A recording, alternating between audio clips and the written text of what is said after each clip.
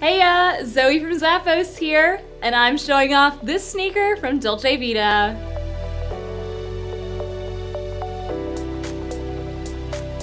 If you are so tired of boring and basic sneakers, then you are really going to like this pair.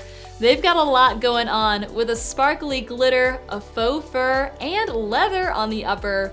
My favorite thing about them, however, has got to be these interesting geometric shapes on the midsole. They just add so much character to the shoe overall. There are laces on the top that are mostly meant for decoration, though you can tighten them up if you'd like. Otherwise, you're going to pull these on, and inside has a soft lining plus a removable footbed. Now check this out guys, this insole has a boost built in, so it's going to be undetectable, but you're getting nice cushioning as well as that lift. It's all on top of a textured outsole. Add a little something extra to your look with this style from Dolce Vita.